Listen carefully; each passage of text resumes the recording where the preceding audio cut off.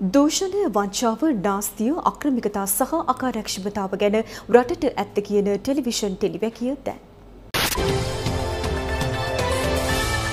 Television ටෙලිවැකිය Powerful people make places powerful. අදලියන්නේ පන්සිය තිස් පස්වැනි ටෙලිවැකිය. ඔබට මතක ඇති විස්සයි විසි දෙකේ මාර්තු තිස්ස එක. නේද. එදා තමයි ජනතා උද්ඝෝෂණයේ පළමු වෙඩිමුරේ පත් වූ දිනය. ඊළඟට විස්සයි විසි දෙකේ ජූලි නමවෙනිදා. එකැන්නේ අද වගේ දවසක තමයි අර හැට නම ලක්ෂී ජනාධිපති ගෝටාබේ පැනල යන්නේ.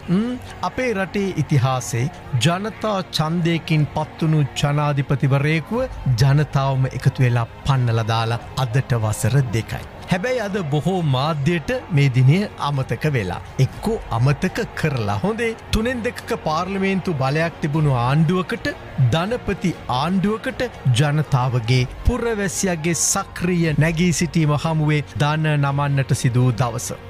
එසේ මෙසේ දවසක් නෙමෙයි. මේ දවස සුළුවෙන් තකන්ටත් බැහැ හොඳේ එහෙම අමතක කරන්නටත් බැහැ. මුලින්ම මේ ජන අර්ගලය විසින් මෙරට තුළ සටහන් කළ යම් යම් වෙනස්කම් ගැන මතක් කරන්නට ප්‍රථම අප එකක් තේරුම් ගත යුතුයි. ඒ තමයි පාලක පන්තිය යනු කවරෙක්ද කියලා. පාලක පන්තිය යනු කවරෙක්ද කියලා නේද.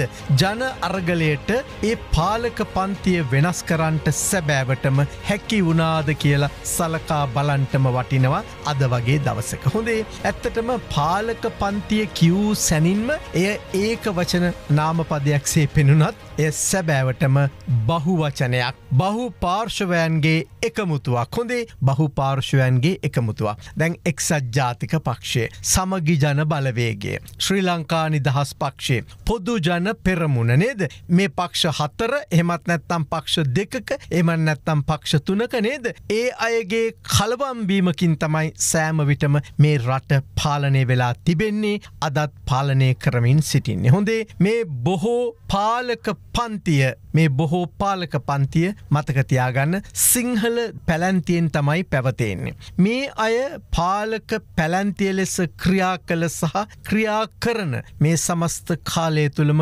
කිසිමදාක මතකතියාගන්න කිසිමදාක හදවතින්ම ප්‍රතිසංස්කරනවලට අවංකව සහභාගි වෙලා නැහැ. ප්‍රතිසංස්කරනවලට අවංකව සහභාගි වෙලා නෑ ඒවගේමයි ප්‍රතිසංස්කරන අවංකෝම පිළියර්ගෙනත් නැහැ ක්‍රියාත්මක කරලත් නැහැ. ඊට කදිම උදාහරණය මේ ජනාරගලේ හොඳේ බොහෝ අය හිතන්නේ ගෝටහබේ රජය සමයේ අර පටන්ගත්ත ගෑස් පෝලිම් ඉන්දන පෝලිම් විදුලිකප්පාදුව පොහොරහිංක කමාදිය නිසාම ජනතාව පාරටාව කියලයි හොඳේ ඒත් යථාර්ථයට වෙනස්. එදා අරගලයේ අභ්‍යහන්තරය ඇතුළේ දිස්සුණු සටන් පාට අද බොහෝ දෙනෙකුට අමතක වෙලා තිබෙනවා. විශේෂයෙන් පාලක පැලැන්තියට හොඳටම අමතක වෙලා හොඳේ හොඳටම අමතක වෙලා හරිය යන්න කිව්වේ ප්‍රින්සිපල්ට අස්සුනේ ගුරුවරු.